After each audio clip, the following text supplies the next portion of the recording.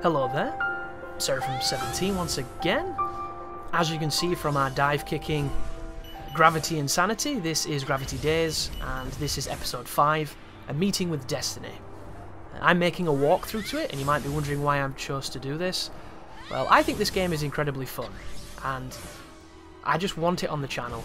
If I can make somebody buy this game and experience something they might not necessarily have gone near, and if they enjoy it, then my my work is done because I love games, I do. Some games I hate. Some games I hate with the the vitriol that you reserve from your nemesis. But that's just kind of it's easy to hate a game, I think, especially if it's not your tastes. But a game that can really elicit joy from you and you can have a ton of fun with it. Now that is something that I think is is worth sharing. And that's why I'm covering it, even if this game is not the most challenging you'll ever come across, but it's still worthwhile. And I would recommend renting this over buying it, because I don't know if this is a game that everyone's going to be able to play a ton. I don't even know if I'm going to be able to replay this game too much. I'm, I'm enjoying it on my second playthrough, but, you know, I don't know if I would do a third or a fourth. But even then, I don't regret buying it, and I'm glad I own it because I know at some point I'll probably go back to try it out and have a ton of fun again. Because there's just, there's something about experiencing you know, an interesting gravity mechanic with some platforming and some some combat and just some goofy stuff happening.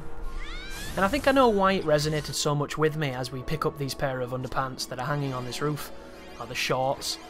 It's because there's been so many sequels recently, there's been so many remakes, you know, so many remasters, and this in itself is a remaster. So I'm not giving it, you know, I'm not laying it off for that, but it's a game I never played, and it's a game I would have never got to play either. So to me, it feels like a remaster that was worth it.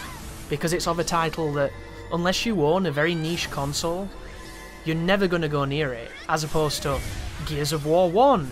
Again! Like, such a difference, and it's it's a completely different mindset for me when I come into something that I had no idea what this game was. I just thought it looked interesting and weird, and it is interesting and weird.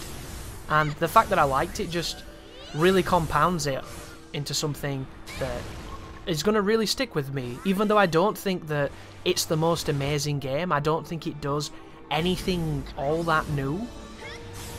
It's just fun, and I'm really happy to, to be able to say that.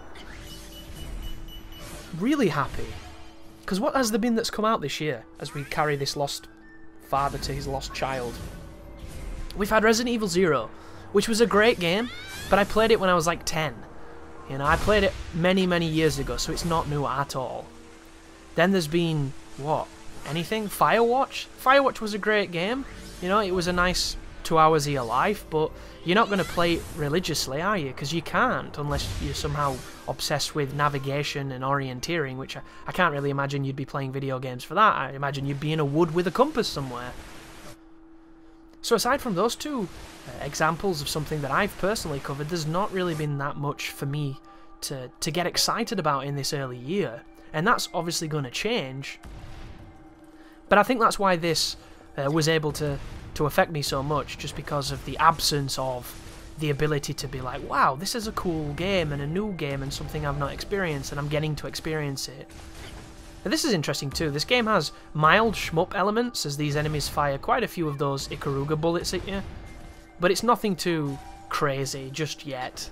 And you can roll and get your iframes or you can jump them. It's entirely up to you. This this is a good example of how this game mixes up its environments and goes from being quite mundane to being quite just out of this world and not entirely too sure what's going on. It, it does it quite a lot, and I think it's one of the game's strengths. Watch this too. I heard something fire, and I had a feeling it was coming for me, so I jumped when I got control back there, and I dodged it, and it looked super pro, but uh, it was quite fortunate. The only issue I have with these particular missions is they go so quick I can't really talk too much about the game. You know, I tell you that I like it, and then the video's over. But thank you for watching, and you take care now.